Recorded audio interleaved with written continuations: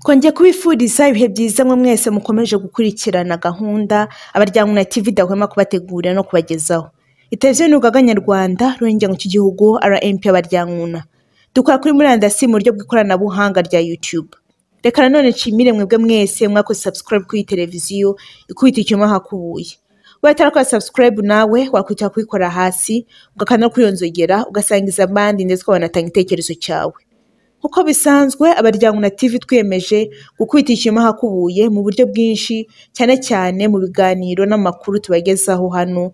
Bigamije guhindura impinduramatwara agacanzigo igamije kurandura n'imizi inzigo yabaye karande mu banyarwanda no gushyiraho iherezo ku ntambara umunyarwanda arwana n'undi munyarwanda guhagarika byihuse gatebe gatoki ya gahutu na gatutsi yakomeje kuranga abanyarwanda no gushyira uburyo burambye abanyarwanda twafatana urunana tukiyubakira igihugu natwe tukiyubaka.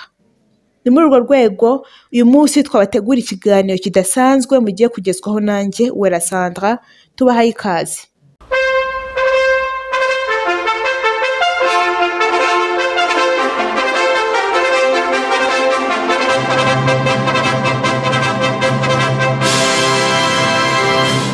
Kuko natangiye mbabwira uyu ni umwanya w'ikiganiro kidasanzwe aho tugiye kugaruka ku bikorwa byabaye ku itariki ya makumyabiri na gatanu mata ibihumbi bibiri na makumyabiri n'iya mbere gicurasi ibihumbi bibiri na makumyabiri. Ibikorwa byo kwibuka inzirakarengane zose z'abanyarwanda zishwe zizira uko zavutse kuva mu mwaka w'igihumbi kimwe magana cyenda kugeza mu mwaka w'ibihumbi bibiri.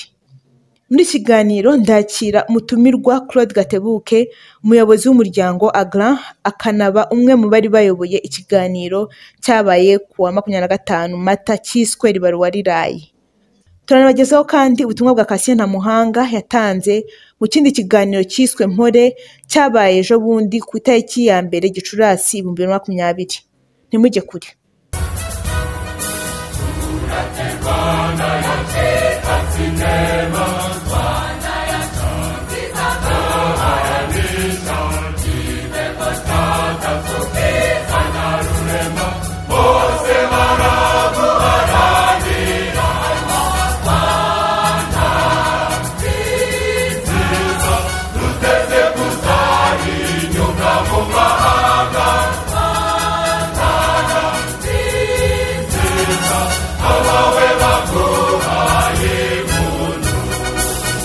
Gatandatu tariki ya makumyabiri na gatanu mata ibihumbi bibiri na makumyabiri habaye igikorwa cyo kwibuka bose cyiswe ribaruwa riraye icyo gikorwa cyabaye kuri youtube. Aho abanyarwanda batuye hirya no hino ku isi batanze ubutumwa bwabo buvuga uburyo barokotse amahano yagwiririye u rwanda kuva mu mwaka w'igihumbi kimwe magana cyenda kugeza mu mwaka w'ibihumbi bibiri. Muri aka kanya tugiye kwakira claude gatebuke umwe mu bari bayoboye icyo kiganiro atubwire muri make icyari kigamijwe n'umusaruro bakitezeho. Claude gatebuke tubahaye ikaze ku baryankuna tv ndagushimiye sandra kuntumira muri iki kiganiro. Nkaba kandi ngusuhuje nsuhuje n'abakurikiye iki kiganiro. Urakoze cyane bwana gatebuke. Mu izina ry'abandi baryankuna bari hirya no hino nishimiye kuguha ikaze kuko tubona uri umwe abanyarwanda baharanira kugeza heza abanyarwanda by'umwihariko igihe hashakwa ubumwe n'ubwiyunge byuzuye mu rwanda. Watangira utwibwira ukanatubwira muri make abo mwakoranye. Nk'uko nkabivuze ikiganiro gitangira nitwa gatebuke. Claude nkaba ndi umuyobozi w'ishyirahamwe ry'uburenganzira bw'ikiremwamuntu rihanira uburenganzira bw'ikiremwamuntu mu karere k'ibiyaga bigari ryitwa african great lakes action network. Mu magambo magufi rikaba ryitwa agland. Nkaba kandi rero ndi impirimbanyi y'uburenganzira bw'ikiremwamuntu ndumva wenda ari ibyo nakubwira. Abo twakoranye rero mu gutegura icyo kiganiro hari abantu ku giti cyabo ariko hari n'imiryango yateguye icyo kiganiro. Reka wenda aba ariyo mvuga. Ah, ubwo hari umuryango wacu wa aglan hari uwitwa global campaign for rwandans rights rimwe na rimwe bita rwandans rights. Hari ah, uwitwa clear hakaba na kampanye amahoro iwacu. Hakaba na KMP cyangwa KMP ariyo Kizito Mihigo for Peace. Uh, studio rero yadukoreye icyo kiganiro ikaba yitwa HMG. urakoze cyane bwana gatebuke none umuntu yahita yibaza ati kuki igikorwa cyanyu mwakise ribaruwa riraye Eh, twakise ribaruwa riraye igituma icyo kiganiro twakise ribaruwa riraye ni ukubera ko ikiganiro ubwacyo cyavugaga mbese twahaye umwanya abanyarwanda cyane cyane urubyiruko urebye bose ni abantu b'urubyiruko ni abantu amahano yabaye mu rwanda yabaye ari no mu karere ari abana bato cyane. Ah, noneho rero buri baruwa riraye ni uko buri wese yivugiraga ibyo yabayemo amateka ye akayavuga uko yabayemo aho yaciye ibyo yabonye uko yumvaga ameze abo yahabonye n'ibyahabereye.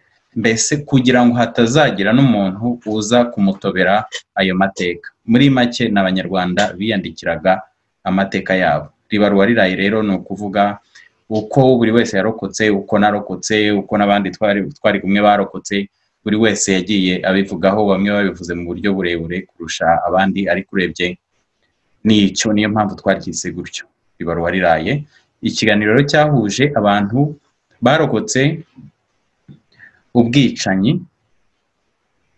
bwabereye ari mu rwanda ari no mu bihugu bituriye u rwanda ariko ubwicanyi bwakozwe n'abanyarwanda. Birumvikana umuntu yarebye amateka y'u rwanda amahano yaguririye u rwanda biragaragara ko ari menshi kandi no mu bihe bitandukanye. Kuki mwahisemo kwibuka inzirakarengane zo mu myaka ya mirongo icyenda?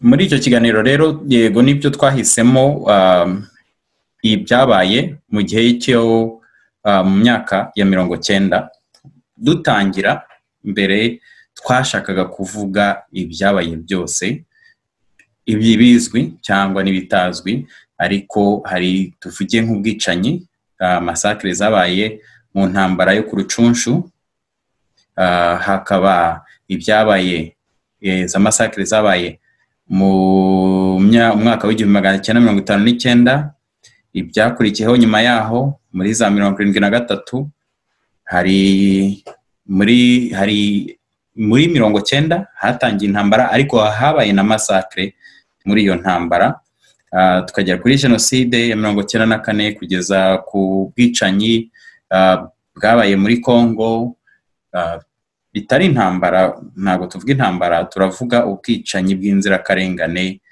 ni byo ni byo twerekanaga cyane nubwo n'intambara yagiye yica benshi ariko nongere mbisubiremo abantu twavugaga ni ubwicanyi bwabaye ku nzirakarengane ni uko kugeza na n'ubu abantu barakicwa turabizi ko n'ejo bundi umuvandimwe wacu kizito mihigo yishwe. Ah, ntabwo nta gihe kinini gishize. Gusa igituma twahisemo periyode y'igihumbi magana cyenda mirongo cyenda kugeza mu bihumbi bibiri ni cyo gice cyapfuyemo cyishwemo abanyarwanda benshi cyane benshi cyane miliyoni zi- zingahe miliyoni irarenga ni byo kuko deja ah, urebye abapfuye muri mirongo cyenda na kane ariko noneho utekereje n'abapfuye mbere abishwe mbere yaho abishwe muri mirongo cyenda na kane n'abishwe na nyuma yaho muri iyo myaka ya za mirongo cyenda Ah, aho ngaho rero ni ho twashatse kwibanda cyane kubera ko ah, ariho icya mbere hishwe abantu benshi icya kabiri abantu bari abantu babibayemo ababirokotse baracyariho noneho muri ribaruwa riraye rero bashobora kwibarira inkuru y'iryo iryo joro ba- baraye ah, izo nzira ndende n'ingufi twaciyemo. Ah, mbese muri make abantu bo muri icyo gihe abariho icyo gihe abarokotse eh, turacyahari ku buryo twashoboraga kubyivugira. Urakoze claude. None abanyarwanda bakiriye gute icyo gikorwa? Ikiganiro rero muri rusange cyakiriwe neza.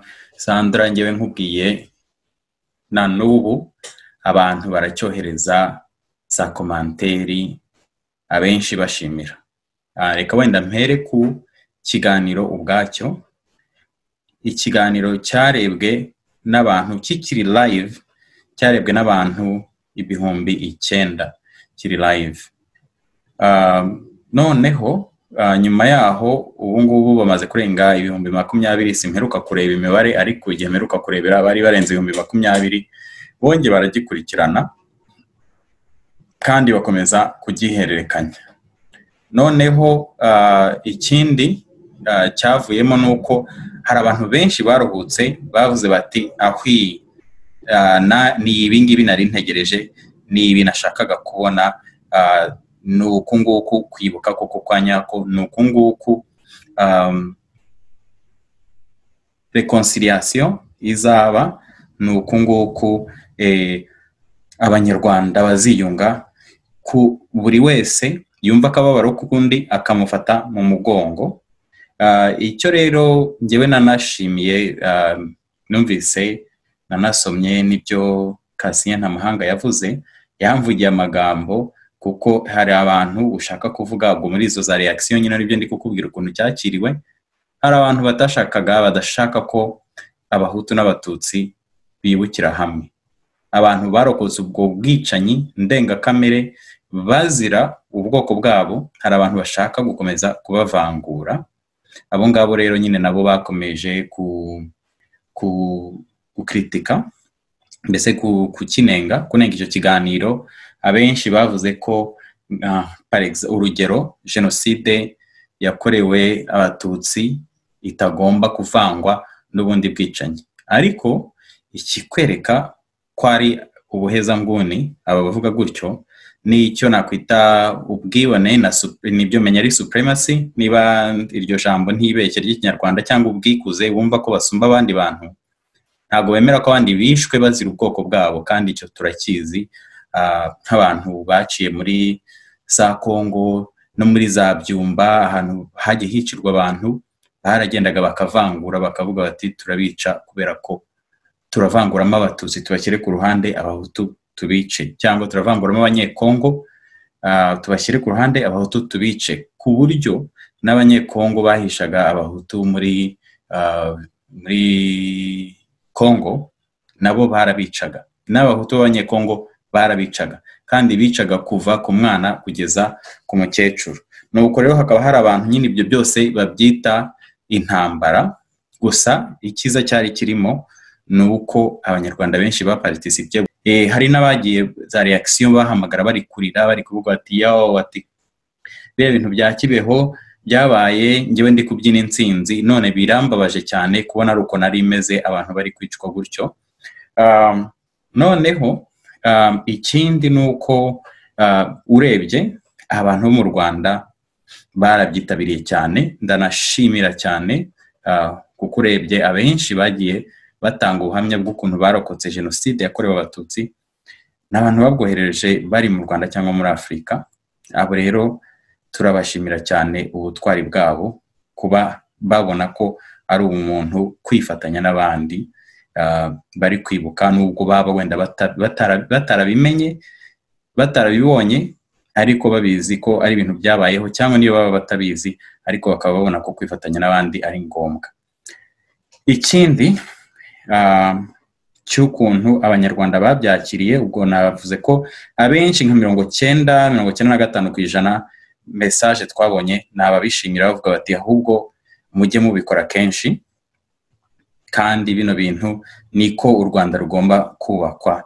Niyo fondasiyo niwo musingi w'u rwanda rwiza.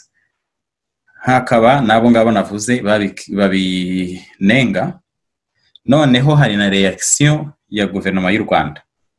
Icyo reka nkivuge dukubitire ikinyoma ahakubuye leta y'u rwanda yagerageje gusabota icyo gikorwa. Icya mbere bakoze ni ugushyira agahato ku bantu bari buparitisipe mu kiganiro ngo bakivemo.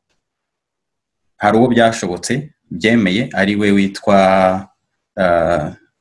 jean paul samputu w'umuhanzi wigisha nawe wigisha reconciliation. We yavuyemo kandi mu byamukuyemo ni uko leta yamushyizeho yamushyizeho igitugu.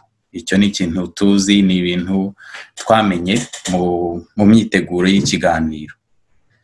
Ni na cyo cyatumye tubivuga tubivugira ahagaragara kugira ngo n'undi muntu wese uzashaka kuza mu biganiro byacu bakamushyiraho icyo icyo gitugu ko tutazabi ntabwo tuzabigira ibanga tuzabivuga uko bimeze kugeza ibyo bintu bicitse.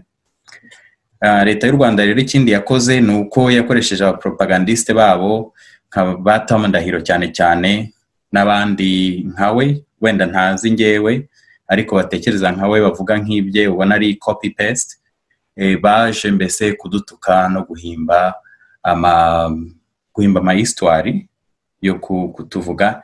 Icyo kora ngewe ibyo byo kudutuka ntacyo bintwaye nta nubwo mbona ari ibintu bifite agaciro cyane kubera ko buriya icyangombwa kandi nshaka kwibutsa abanyarwanda ntiturangazwe n'ibyo bitutsi kuko nta muntu ibitutsi byigeze nta hantu hamwe nigeze mbona ibitutsi byirukanye village yose bikayikura aho yari iri igahunga ikajya mu nkambi ariko ubwicanyi abicanyi abahutu n'abatutsi.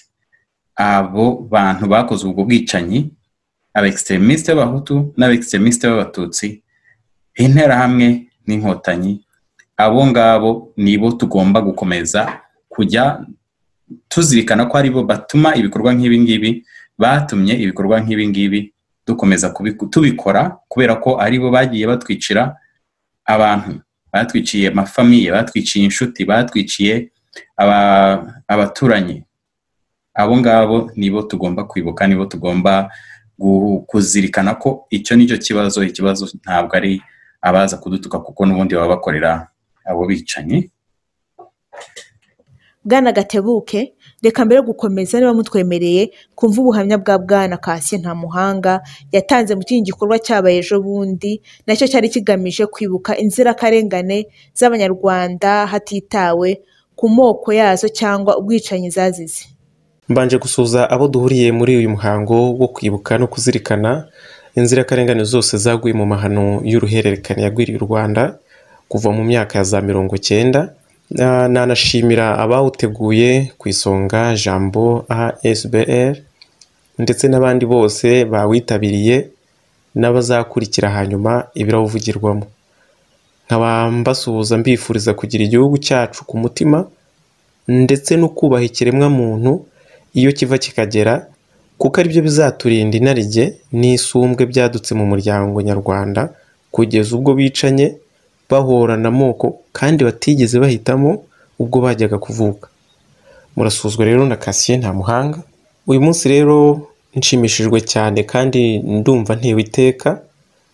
Ryo guhurira hamwe n'abandi bantu bateranyijwe no kwibukira hamwe abanyarwanda b'ingeri zose kandi bo mu moko yose baguye mu mahano yagwiriye u rwanda hatitawe ku mazina byahawe cyane ko usanga binasekeje kuba bamwe mu bagize uruhare muri ayo mahano ari nabo bahindukira bakayaha amazina bakanahatira abandi kuyemera bo batagamije kwihana ndetse batabanjije no kwihana.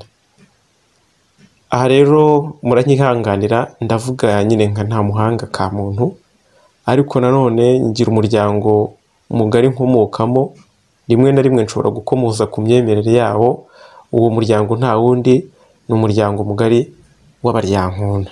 Ubundi twe mu baryankuna twemera ko icyumweru cyo kwibuka ndetse no mu bindi bihe byose abantu bateraniye hamwe bibuka igihe batari kwibuka ubwicanyi runaka cyangwa abantu runaka bazwi neza wenda bari kwibuka nk'abatutsi baguye muri kiliziya ya nyarubuye abasenyeri baguye gakurazo impunzi zaguye mu nkambi ya kibeho n'abandi bazwi neza gutyo. Ibitari ibyo dusanga ari ngombwa kwibuka jenoside yakorewe abatutsi n'ubundi bwicanyi bwibasiye abanyarwanda butiswe jenoside. Ngira ngo uyu munsi turimo kwibuka muri uwo murongo akaba ariyo mpamvu binshimishije kuko ni ubwa mbere mbihuriyemo n'abandi bantu nubwo bitabaye imbona nkubone gusa na byo nkeka ko igihe kizagera bikaba. Ubundi mu bihe nk'ibi byo kwibuka ntibiba byoroshye ko umuntu agira n'icyo avuga. Icyakoza ufite ubuhamya ashobora kuwutanga nkange rero nakekaga ko ari n'igihe cyiza wenda cya umuntu yatangamo ubuhamya ariko nk'ubuhamya umuntu aba afite ntabwo ari ubuhamya umuntu aba ashobora gutanga mu gihe cy'iminota nka makumyabiri mba mfite hano. Niyo yaba ari isaha na yo ntabwo ihagije n'amasaha abiri ni ibintu birebire umuntu aba yaranyuzemo ariko hano nanejejwe ko ari ukwibuka bose ni ukuvuga ni ukwibuka abatutsi bapfuye bishwe birumvikana hanyuma tukibuka n'abahutu bapfuye nabo bishwe. Ariko ni ngombwa nanone kwibuka ko abo bantu bapfuye nanone bishwe n'abanyarwanda. Bamwe bo mu bwoko bw'abahutu abandi bo mu bwoko bw'abatutsi. Nubwo atari bose bagize uruhare muri ubwo bwicanyi. Murumva rero uburemere bw'ayo mahano. Ngewe rero wenda hari n'abandi bantu ngewe rero nkanjye ku giti cyanjye abo bantu bose bose bagerageje kunyica bose barankomerekeje ku mubiri banankomeretsa no ku mutima. Nubwo ntavuga ko n'ubundi byarangiye kuko n'ubundi baravuga ngo dore intorezo igezwe ku gishyitsi kandi nta wirata acyambaye imyenda y'urugamba. Birakwiye ahubwo ngo ko yirata arimo akuramo imyenda y'urugamba. Kuko tumaze kubona ingero nyinshi z'abantu bari bazi ko bacitse ku icumu ariko bakaba bakomeje kuregwaho kandi bazira ibisa n'ubundi n'ibyatwaye abo twibuka ubu ngubu bapfuye mu myaka ya za mirongo cyenda. Birababaje rero turacyari ku rugamba dutegereje umunsi u rwanda ruzatangarizwa ituze hagatangazwa ko hunamuwe icumu ko intambara ihanganisha umunyarwanda n'undi ishyizweho iherezo. Ngarutse inyuma gato ahari abateguye gahunda bashobora kuba barayitangiye ibisobanuro bihagije ariko nanjye nshingiye ku mateka yanjye bwite no ku myumvire yanjye bwite nagira ngo ngire udukeregeshwa dukeya nongeraho. Icya mbere mwese muzi ko mu rwanda hari imiryango myinshi yashyingiranywe ndavuga bamwe ari abahutu abandi ari abatutsi bagashyingiranwa bakabyara. Hanyuma mu gihe cya jenoside kigeze iyo wabaga uri umututsi ibyo ntacyo byagufashaga n'ubundi waricwaga wenda ntihabura bakeya byafashije ariko nanone kubona bene wanyu barimo bicwa kandi bicwa na bamwe bivugwa ko bafitanye isano n'abo washatsemo narwo nta rupfu rurenze urwo. Hanyuma fpr na yo mu bwicanyi bwayo iyo yabaga yakwitumye nabwo ntabwo wayiratiraga ngo dore mfite umugore w'umututsikazi cyangwa se ngo mfite umugabo w'umututsi. Nayo yarakwicaga. Kandi nanone ibyo birasa n'ibindi kubona abantu bavuga ko ari bene wanyu bari kwica abo washatsemo na byo n'undi nta rupfu rurenze urwo. Gusa uko byagenda kose ntabapfira gushira. Iyi miryango y'abahutu yashakanye n'iy'abatutsi yarapfushije ku mpande zose. Kubabwira rero ngo nibibuke igipande kimwe kandi bo imiryango yabo migari yagutse ivangavanze. Ibyo ngibyo ni ukubacanganyukisha ni ukubatesha umurongo. Ibyiza kuri bo ni ukwibuka inzirakarengane zose zapfuye kuko zapfuye zizira amoko yazo zizira uko zavutse. Icya kabiri interahamwe n'abazifashije bisha abantu tureba. N'inkotanyi n'abazifashije nabo bica abantu tureba. Fpr nka nyina w'inkotanyi zagize uruhare muri bumwe muri ubwo bwicanyi bwahekuye u rwanda. Itegeka abanyarwanda kwibuka igice kimwe cy'abandi banyarwanda ikanabibutsa igice kimwe cy'ababishe. Birumvikana iba yikingira ikibaba. Nkeka ko n'interahamwe iyo ziba ziriho zifite uburyo ki zifite ubushobozi runaka na zo ziba zitegeka abantu kwibuka igice kimwe. Nazo nyine birumvikana zikingira ikibaba. Twe rero nk'abantu babonye izo nkoramahano zombi. Tukaba tuzi uko abo twibuka bapfuye tukaba tuzi ko nta makosa bari bakoze yagombaga gutuma bakatirwa urwo gupfa tukaba tuzi ko icyo bose baziraga nk'icyita rusange ari ubwoko uko bavutse kandi akaba ari ibintu batigeze bahitamo. Nk'abantu bavuye mu bubata bwa fpr n'indi myumvire icuramye tugomba kubibuka kandi tukabibukira hamwe. Icya gatatu nk'abantu barokotse. Waba wararokotse jenoside yakorewe abatutsi waba wararokotse ubwicanyi bwakorewe abahutu ibyo ari byo byose uzi akababaro wahuye nako.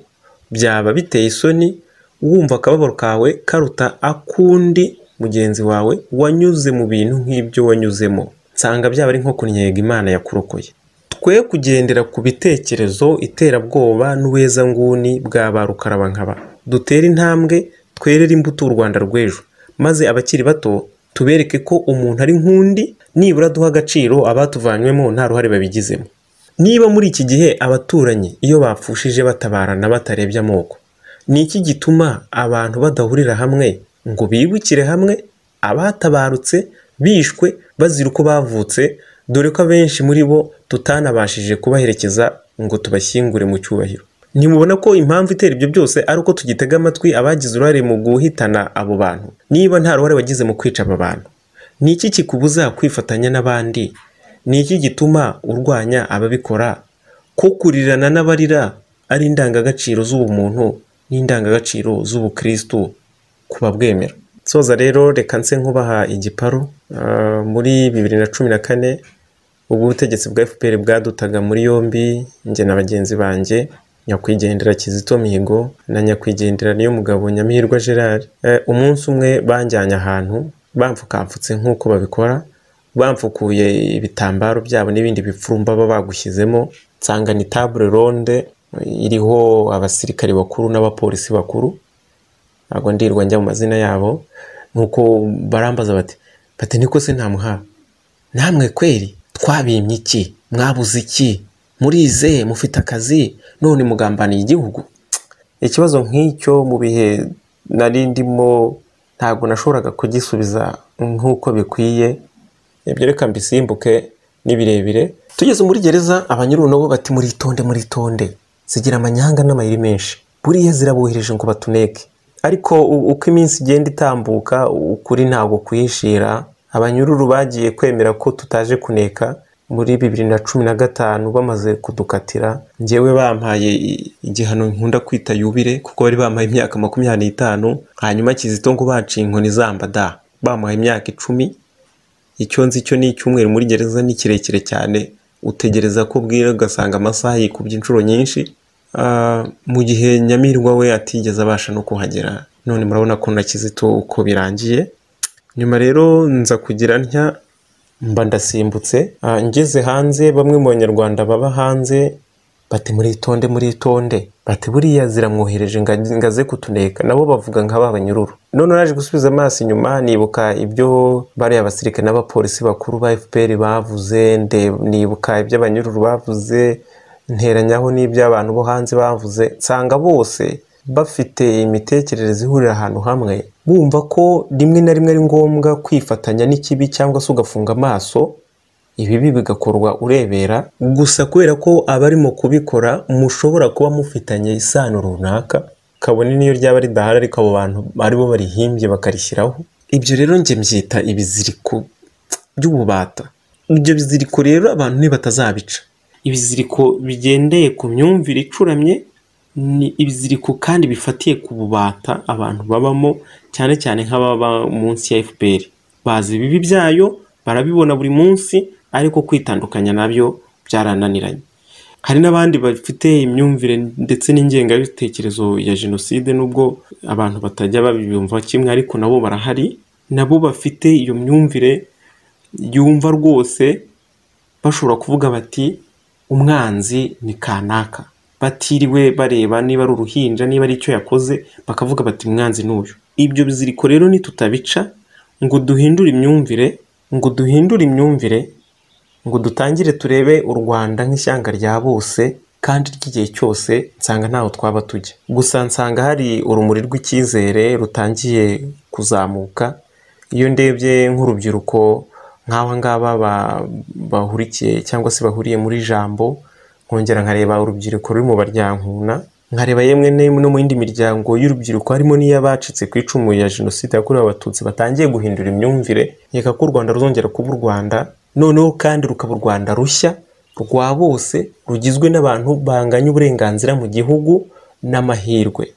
Wenda bakarushanwa impano imana yabihereye. Kandi nk'iyi ntambwe nziza abantu bateye yo gutangira bakagerageza kwibukira hamwe bakibuka bose. Ntabwo ari byiza ko dukomeza kugendera kuri fpr imyumvire yayo kuko yagize uruhare mu bwicanyi bwahekuye u rwanda. Ntabwo rero ariyo dutezeho umuti ahubwo mbona umuti tuwuteze muri uru rubyiruko rutangiye kuzamuka. Ubwo rero hatangiye kuza izi ntambwe zo kwibukira hamwe no gukorera hamwe ndumva ndumva hazashyirwaho n'ikiraro gihuza urubyiruko. N'aba ngaba bagize uruhare muri ubu bwicanyi bwose bwahekuye u rwanda. Kuko sinkeka ko ari bo dutezeho umuti kandi ari bo bazambije ibintu. Murakoze murakarama. Yarakoze cyane bwana ntamuhanga kasi yagize ati niba nta ruhare wagize mu kwica abo bantu ni iki kikubuza kwifatanya n'abandi? Ni iki gituma urwanya n'abandi babikora? Ko kurirana n'abarira ari indangagaciro z'ubumuntu n'indangagaciro z'ubukristo kuba bwemera wowe ku giti cyawe wakiriye gute abashatse kurwanya cyangwa guharabika riba ruwariraye kandi bitwa jenoside yakorewe abatutsi. Sandra urakoze kuri icyo kibazo nanone. Ndagushimiye cyane ah, ko tubigarutseho. Iryo jambo rya kasiya ntamuhanga ah, rivuga niba nta ruhare wagize mu kwica abo bantu ni iki kikubuza kwifatanya n'abandi? Eh, iryo jambo rivuze neza cyane kandi nanjye niko mbyumva nanjye ni ikibazo nibaza. Ubwo rero ngewe icyo mbona abantu bitwaje jenoside yakorewe abatutsi ni politike ya fpr ibyo ngibyo ni ubukotanyi bw'amarere. Niko ngewe mbyita n'ubuhezanguni. Ibintu bidashobora kubaka u rwanda na rimwe.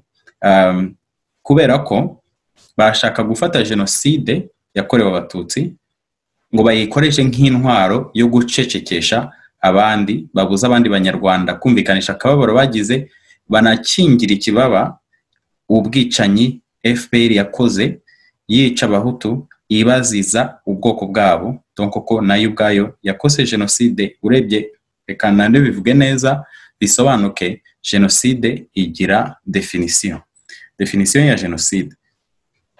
Ni- ugukora ah, babyita intensiyo mbese ni ugukora wifuza ushaka kurimbura ubwoko bwose cyangwa se igice cy'ubwo bwoko ibyo ni ibintu byabaye ibimenyetso birahari ababirokotse barahari abantu barabyivugira ariko nyine mwene abo bakoresha jenoside yakorewe abatutsi ni bya bindi fpr yayifashe ikayigira intwaro yo gucecekesha abantu bose ikayigira intwaro yo ah, ah, gufunga uwo ishatse ah, kurega umuntu wese ingengabitekerezo kwita abantu ko bahakana jenoside. Icyo ngewe navuga kuri icyo ngicyo ni uko abenshi mu bari bari muri kiriya kiganiro ari ubuhamya bwatanzwe ari n'ababiteguye ari n'abaciye muri kiriya kiganiro twarayirokotse iyo jenoside. Donko icyo kintu nta nubwo gishobora kudufata cyangwa kudukanga cyangwa kuducecekesha muri make byanze bikunze akababaro ari ako twabayemo ari n'ako abandi babayemo tuzabishyira ku mugaragaro. Ikindi nta muntu dusaba ngo nta muntu dushyira ku gahato ngo yifatanye natwe. Uza wese ni ku bushake bwe. Kandi turabishimira abanyarwanda bafite umutima w'ubumuntu wo kumva ko twese tugomba kwibukira hamwe kugira ngo twubake u rwanda rwiza rw'ejo. Ni na yo mpamvu biri mu rubyiruko. Kubera ko iyo urebye abantu bakunda no gukora ibyo ngibyo ni abantu bakuze. Bashobora kuba n'ubundi wa mugani wa ntamuhanga bafitemo uruhare bafite uruhare muri ibyo bintu.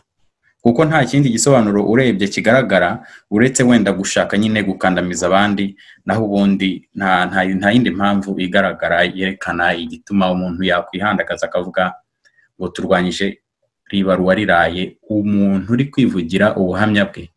Kandi n'icyatumye jenoside yakorewe abatutsi imenyekana cyane ni uko abantu bayibayemo abantu bayirokotse bagiye batanga ubuhamya bwabo. Kandi tukabwemera tukabwakira uko bumeze n'abandi bose inzirakarengane zose z'abanyarwanda zifite ubwo burenganzira tuzabubaha kubera ko guverinoma y'u rwanda yabubimye leta y'u rwanda yagombye kubibikora ariko ubwo itabikora yananiwe akazi kayo twebwe ibyo dushoboye tuzabikora ariko abashaka ku- kuducecekesha bakoresheje ibindi gukoresha gufata jenoside yakorewe abatutsi bakayigira intwaro ya politike. Iyo ntwaro twe ntabwo dufite urukingo mbese ni cyo nakubwira sandra. Kandi urwo rukingo ah, ruzadufasha gukomeza kwirinda abantu nk'abo ngabo bashaka gukurura urwango no gukomeza kuvangura abapfuye n'abakiri bazima. Reka dusoze ikiganiro tubashimira cyane. Ku kuba mwafashe umwanya mukakira ubutumwa bwacu. Ku giti cyanyu ni iki mwifuza kubwira abanyarwanda cyane cyane urubyiruko ruri mu rwanda? Eh, ndagushimiye. Ah, sandra uyu mwanya wampaye wo kuganira nawe muri iki kiganiro. Ku giti cyanjye icyo nifuza kubwira abanyarwanda cyane cyane urubyiruko ni uko nifuza ko urubyiruko rugira ubumuntu. Wareba umuntu mu bwoko arimo ubwo ari bwo bwose ukamubonamo umuntu ukamwibonamo akababaro ko ukakumva uwakamuteye abo bagiye kwica inzirakarengane akaba ari bo bagenda n'ipfunwe ntibibe ntibibe biri ku bacikacumu ubwo bwicanyi ahubwo iryo pfunwe rikaba riri ku bicanyi.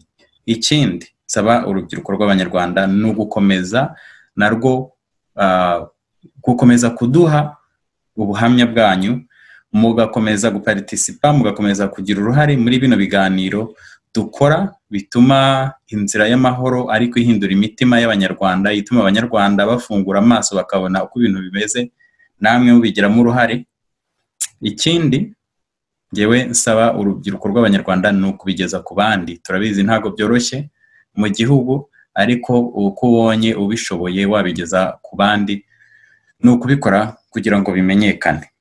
Ah, ikindi ni uko ngewe mbona ah, amakuru y'ibintu byabaye mu rwanda kubera ko cyane cyane ubu ngubu itangazamakuru ryo mu rwanda ryashimuswe ryashimuswe na leta ni uku- ni ukutugezaho amakuru kugira ngo dushobore kuyageza ku isi yose. Abantu bamenye ibiri kubera mu rwanda ari abanyarwanda bari mu rwanda wenda badashoboye kumva ibyabereye iwanyu ariko bakaba babibonera babyumva mu makuru y'abaryankuna cyangwa se babibona ku yandi mashene ah, ya YouTube cyangwa andi maradiyo ubundi buryo mbese bwo kugeza amakuru ku banyarwanda benshi.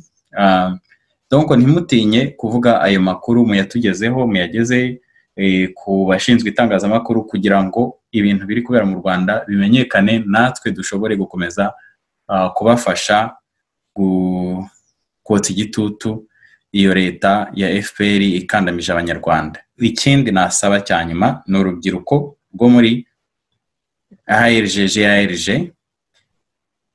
uwitwa generali kabarebe yasabye ngo guhangana n'urubyiruko rw'abanyarwanda rutari mu gihugu ariko b'abahanga ah, arimo no kuvuga ko bari gutegura ngo izindi jenoside cyangwa kwitegura izindi jenoside. Icyo kintu mukirinde ntimuzijandike mu bwicanyi nk'ubw'interahamwe n'inkotanyi zakoze mu myaka ya mirongo cyenda bikaba bikinakomeza n'ubu ngubu. Kubera ko ingaruka byanze bikunze ababikoze zizaza. Eh, donc ni byo nabasaba. Nabasaba kutijandika muri ibyo bintu. Kandi namwe mutabyemera mwagiye mudukontakita turabibashimira muzakomeze mujye mubitugezaho ah, mutigezeho n'amakuru yanyu n'ubuhamya bwanyu. Numva ari ibyo ndabashimiye mwakoze cyane kunyakira muri kino kiganiro. Ndagushimiye cyane bwana claude gatebuke kandi mbifurije ishya n'ihirwe mu bikorwa byiza mukomeje gukora ku bw'ahazaza heza h'igihugu cyacu. Ndizera ntashidikanya ko izo ntego nziza tuzazigeraho.